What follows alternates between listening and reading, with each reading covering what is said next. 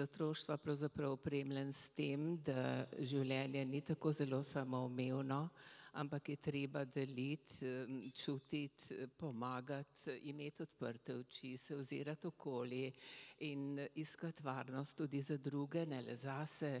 Se mi zdi, da je to popotnica, ki jo pelješ skozi življenje in ki jo v življenju samo še širiš, ker vedno iščeš ljudi, ki, ki so lahko s teboj v tej zgodbi, ker si vedno med ljudmi za ljudi. Če si deležen vseh teh uh, dobrot, Um, to pomeni, da si tudi odgovoren za sprejemati te dobrote in jih potem tudi vračati in nekaj dobrega iz njih narediti. Um, tako da ta,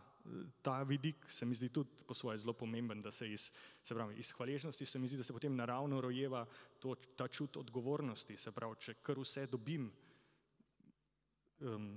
te, kako bi rekel, te lepote, to dobroto, ne, kako lahko jaz to, ne vem, re, če rečem, multipliciram ali pa nadgradim in potem to vrnem nazaj še mogoče še malo plemenite. No.